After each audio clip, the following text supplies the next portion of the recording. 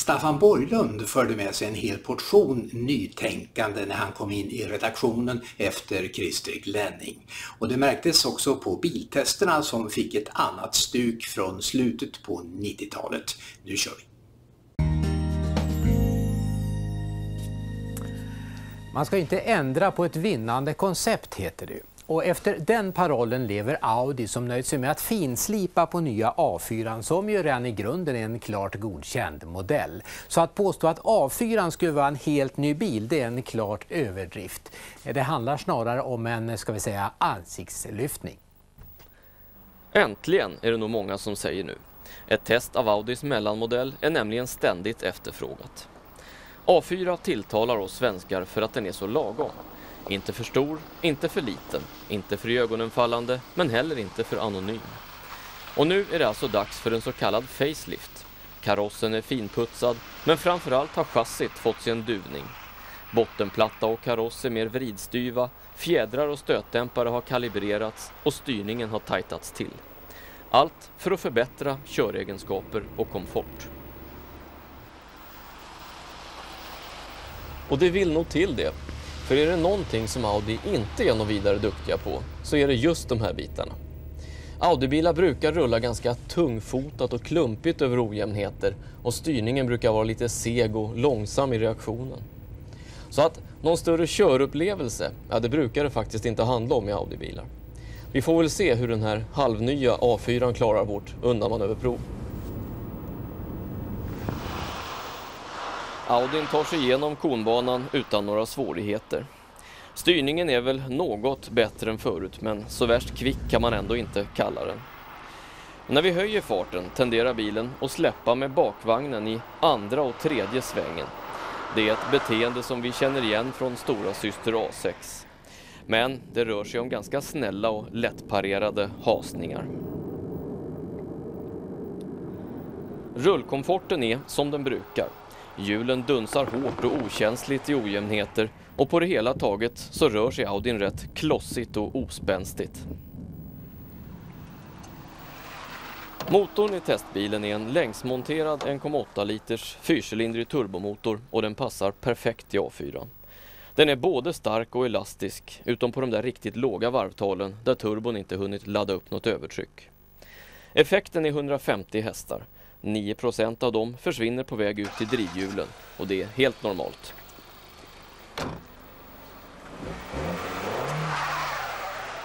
Fartresurserna är det absolut inget fel på. Bromsarna är naturligtvis låsningsfria och bromssträckan från 100 km fart har vi mätt till 42 meter. Det är ett medelmåttigt men ändå godkänt resultat. A4 är Audis största succé i märkets historia. Så det må väl vara formgivarna förlåtet att man valt att gå försiktigt fram när bilen nu modifierats. Det är faktiskt svårt att se någon skillnad överhuvudtaget. Insidan är lika prydlig och proper och genomtänkt som vanligt. Audi är mästare på att bygga in en solid och tung kvalitetskänsla i detaljerna. Förarmiljön är funktionell, förnuftig och fräsch Ja, här finns det egentligen ingenting att klaga på. Baksätet är däremot dåligt. A4 är e och förblir en mellanklassbil med trång kupé. Men i skuffen lyckades vi knöka in tre stora och fyra mindre väskor. Det räcker gott och väl.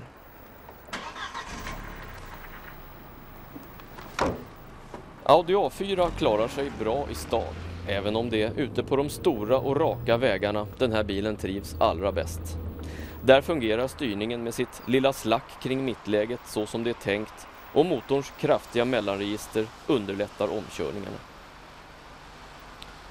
Vid blandad körning drar A4 1,8 T 0,93 liter per mil och det är väl i alla fall godkänt. Rätt pris? Ja, det går väl att diskutera. A4 är ganska dyr i inköp men å andra sidan så kostar den mycket även som begagnad. Det här är en eftertraktad modell och även om den börjar bli lite till åren kommen så tror jag att efterfrågan kommer hålla i sig. Audi är ett innemärke och A4 passar som sagt oss svenskar med all sin lagomhet. Men reservdelarna håller definitivt inte rätt pris. En jämförelse med BMW och Honda visar att Audi är dyrast. Ett avgassystem kostar nästan dubbelt så mycket som till BMW 318. Krocksäkerheten har förbättrats ytterligare. Dubbla krockkuddar fram samt sidokuddar är standard. Dessutom finns nu en slags krockgardin som tillval. Gardinen kallas sideguard och den skyddar huvudet i både fram och baksäte vid sidokollisioner. Gång på gång har Audis motortekniker visat prov på miljömedvetande. I våra avgasmätningar så brukar Audi-bilar alltid klara sig bra. Det här är inte den bästa vi testat, men den är i alla fall bättre än medelbilen.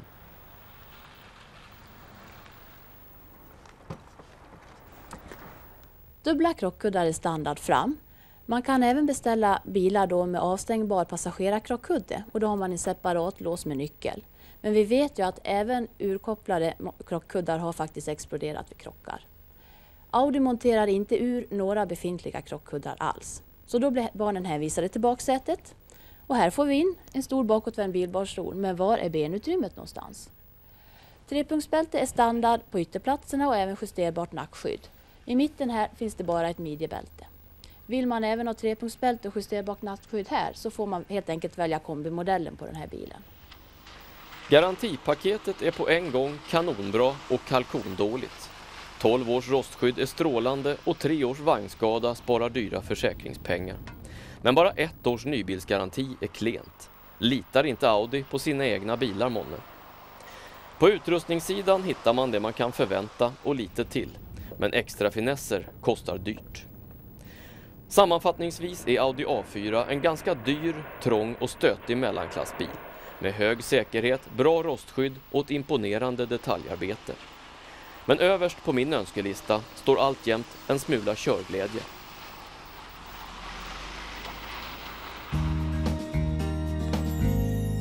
Avancerad teknik, hög säkerhet och bra miljöanpassning ger 18 rattar. Det är en mer än Alfa 156 men två kvar till Honda Accord.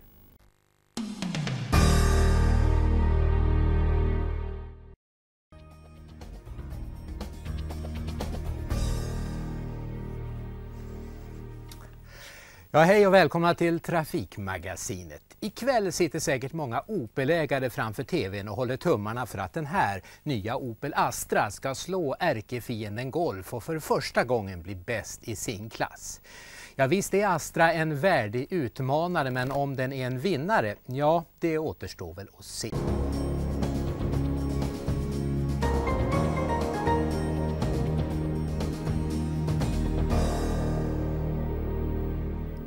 Opel Astra har alltid varit en riktig storsäljare. Ja, den är faktiskt märkets mest sålda modell. Men historien skvallrar också om Astra som en skräpbil med mängder av kvalitetsproblem. Främst vad gäller lack och rostskydd. Men nu satsar Opel stenhårt på att tvätta bort det här rostryktet och bygga upp ett nytt förtroende. Nya Astra har till exempel helförsinkad kaross och hela 12 års rostskyddsgaranti. Attacken mot marknaden är massiv. Astra erbjuds med hela sex motoralternativ och fyra olika karosser. Så småningom kommer även en liten van och en kupéversion. Men nya Astra siktar Opel på en yngre målgrupp än tidigare och med hjälp av saker som hjulupphängningar i aluminium har vägegenskaperna förbättrats radikalt. Allt för att tilltala den unge och aktive föraren. Bilen tar sig föredömligt genom konbanan både med och utan last. Den går lugnt, säkert och konsekvent.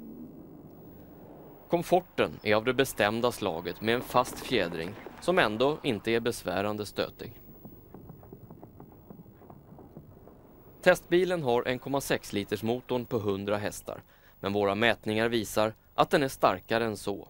Vi mätte upp 100 hästar på drivhjulen och det motsvarar ungefär 110 motorhästar. Det gör Astra 1,6 till en pigg bil. 0 till 100 på 10,8 och 70 till 110 på 7,4 sekunder. Och bromsarna, ja de är smått fenomenala.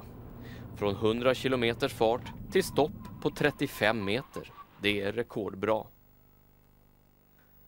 Ja, design ska man väl egentligen inte diskutera. Men visst har Astra blivit av med något av sin klumpiga framtoning och fått lite grann av både Audi och Mercedes över sig. Men inuti är det däremot Opel för hela slanten. Det är svart och grått och ett ganska gammalmodigt upplägg. Det ryktas förresten att Opel redan jobbar med en ny interiör. Men visst fungerar det. Instrumenten är stora och lättlästa och reglagen sitter där de förväntas. Framstolarna är hyggliga och baksätet är relativt generöst för bilstorleken med hygglig plats för både ben och fötter. Och där bak går tre stora och två mindre väskor in.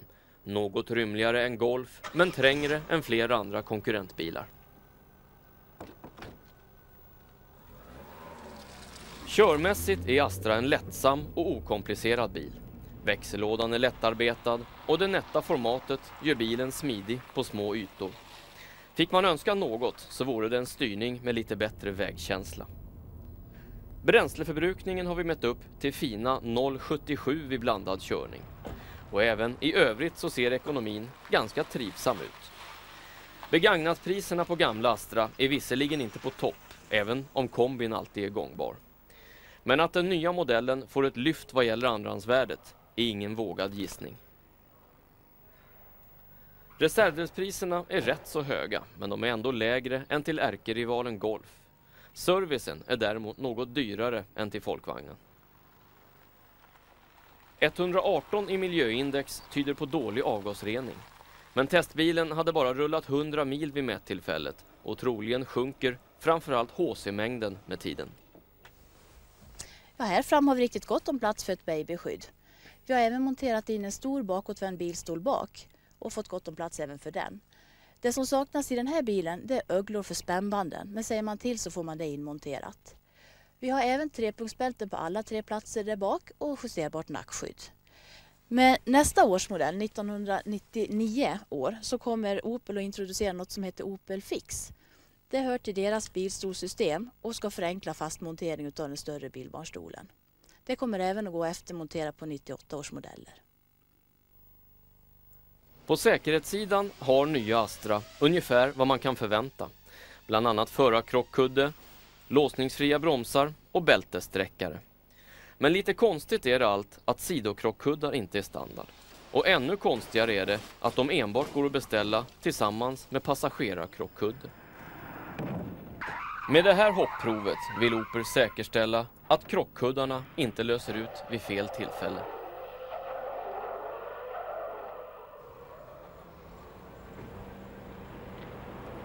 Nya Opel Astras starkaste sida är utan tvekan vägegenskaperna som till och med är strået vassare än i ärkerivalen Volkswagen Golf. Utrymmena är ett annat starkt kort. Baksätet är till exempel både rymligare och bekvämare än Golfs. Men på en punkt, en viktig punkt, har Astra fortfarande svårt att mäta sig med folkvagnen, nämligen kvalitetskänslan. Astra har inte alls den tyngd i detaljerna, den fina passformen eller de gedigna materialvalen som Golf har. Men Opelköparen kan i alla fall trösta sig med att priserna genomgående ligger 6 8 000 lägre än motsvarande Golfpriser. Och det kanske räcker för den som inte kräver perfektion in i minsta detalj. En femma i trafik, det är ett toppbetyg. Totalt 19 rattar placerar Astra jämsides med Golf på kungatronen. Bästa japanska bil i klassen, Toyota Corolla, fick 16 rattar i Trafikmagasinet i höstas.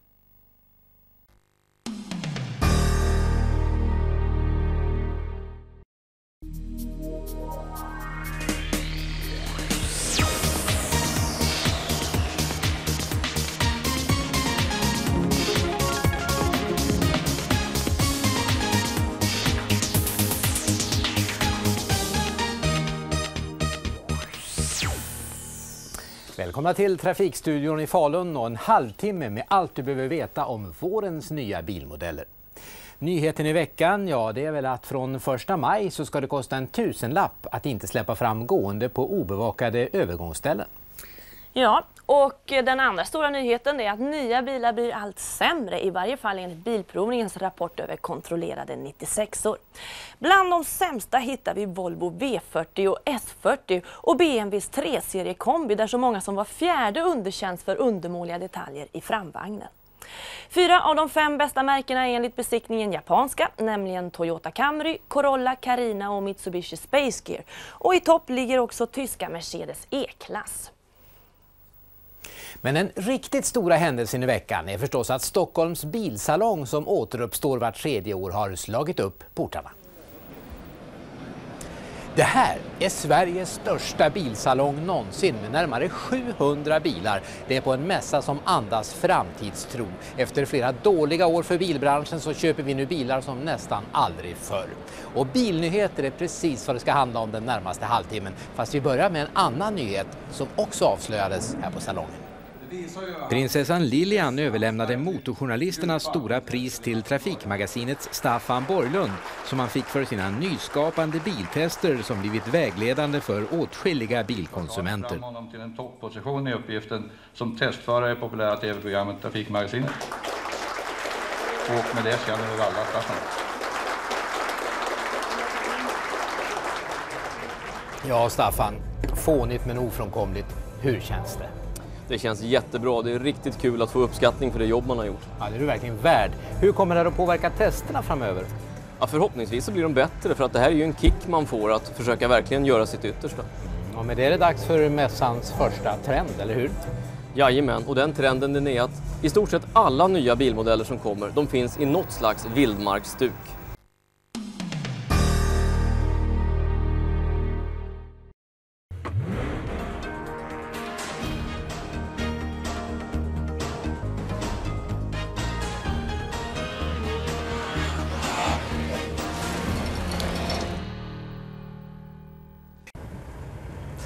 Mercedes har ju en spännande historia av klassiska sportvagnar och inte minst racerframgångar att luta sig mot.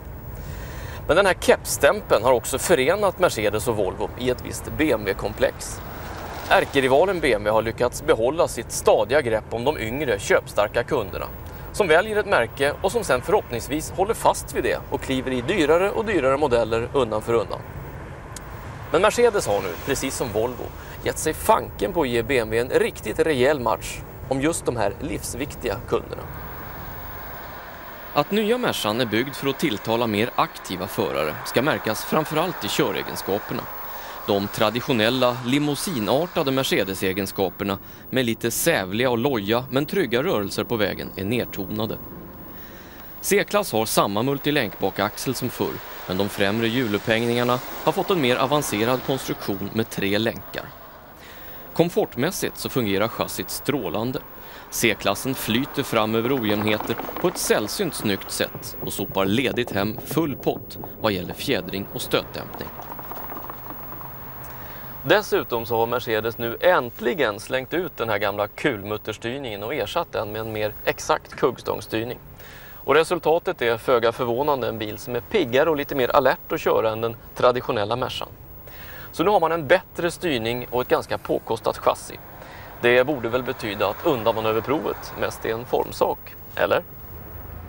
Tom bil och 70 knyck. Ungefär i den här farten så brukar de vägsäkra bilarna skiljas från de som har ett mindre lyckat chassi. Inga problem för Mercan. Tunga blysäckar och ännu tyngre gubbar i kupén och så drar vi igen. I samma hastighet, fast nu med rejält ansträngda fjädrar och stötdämpare. Inte alla bilar klarar en sån här krismanöver i det läget. Ja, det blir lite slängigt med bakvagnen när man kör med full last. Men eh, då griper antisladdsystemet in och tar ner det hela på en ganska odramatisk nivå. Men eh, lika snyggt som Volvo S60 går inte C-klassen inom konbanan. Nu ska vi se vad Mercedes har gömt under huven på C200. En längsmonterad spis med fyra cylindrar, två liters cylindervolym samt kompressor minsann. En drivkälla som gör sitt jobb och som levererar ungefär den effekt som tillverkaren utlovar. Våra tester visar att effektförlusten mellan motor och drivhjul är 9% vilket är fullt normalt. Avgasreningen är klart bättre än genomsnittet och får med beröm godkänt. De här bitarna är tyskarna av hävd mycket duktiga på. 1490 kilo bil, 149 hästar på drivhjulen. Det ger inga blixtrande fartresurser, men det räcker rätt bra ändå. Den omvända siffran, från 100 till 0, är desto mer intressant och de låsningsfria bromsarna tar ner farten stabilt och hyfsat effektivt. 39 meter är en meter kortare än vad vi kräver av testbilarna.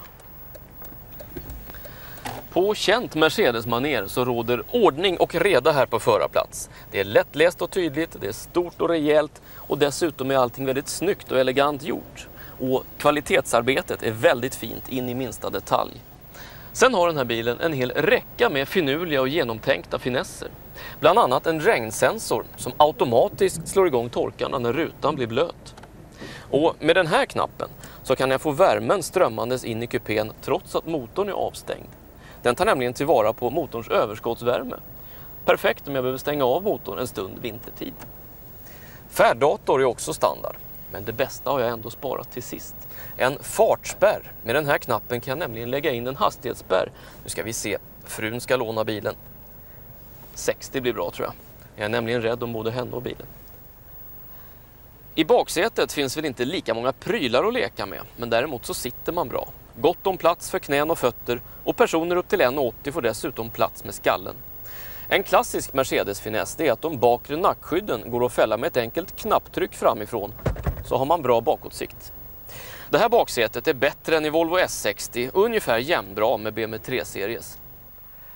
Skuffen är däremot större än på BMW 3-serie men mindre än på Volvo S60. Mercan har dock samma svaghet som Volvo med ett väldigt litet lasthål vilket gör att det är omöjligt att få in skrymmande grejer som till exempel en barnvagn. Snittförbrukningen är väl sådär men det går att köra C200 betydligt snålare än så här. På långturer drar den sällan över 0,85. Reservdelspriserna ser väl skapliga ut medan servicen är mer kostsam. Traditionen säger att Mercedes andrahandsvärde är högt. Ja visst, procentuellt sett men i kronor räknat är dyra bilar en usel affär. Säkerhet är ett område där Mercedes-Benz besitter spetskompetens. C-klassen är robust byggd och i stort sett allt som finns av säkerhetshöjande utrustning är standard. En stjärna i kanten för det. Nya C-klassen är på många vis en bil som imponerar. Den går tyst, bekvämt och följsamt på vägen. Den har säkerhet i toppklass, avgasreningen fungerar föredömligt och kvalitetskänslan är genomgående hög. Men allt det där borde egentligen vara självklarheter. För Mercedes tar så svettigt betalt för bilen att man naturligtvis också ska kräva att få något utöver det vanliga för alla dessa surt förvärvade slantar.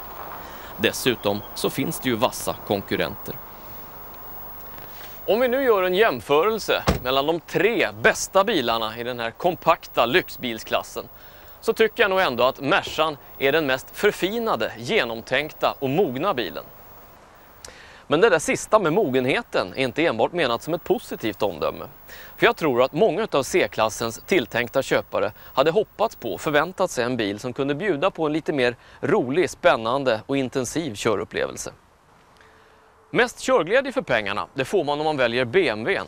Det här är en bil med en suverän mekanik och ett chassi som förenar hyfsad komfort med synnerligen stringenta köregenskaper. Det här är förarens val. Två mycket kompetenta och bra bilar alltså. Men ser man till helheten så rår de ändå inte på Volvo S60. En bil som visserligen har en sämre styrning och ett betydligt taffligare detaljarbete.